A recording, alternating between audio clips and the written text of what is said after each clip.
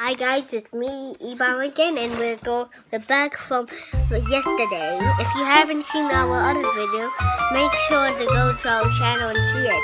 Anyways, now we're gonna taste the Oreos before we just take a look and unbox it. Here, if you haven't seen the Oreo pack, here it is. Ooh, there's something shaking in there. We should open it. Many bags inside? Ten bags. Say that. Ten mini bags. No, that's not how you open it. You like this. No, no, stop. All these Sam and me are gonna try an Oreo each.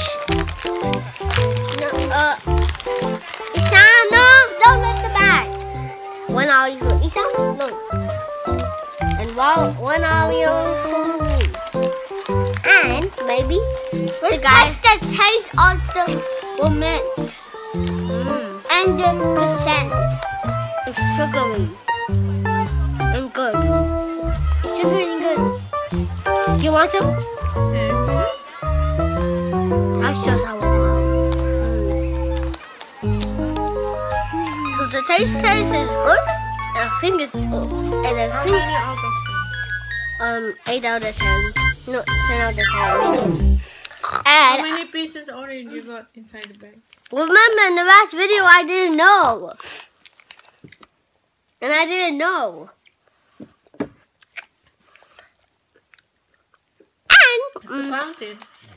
I don't need in a to. plate. One, two, three. Mm-mm, not yet, mommy.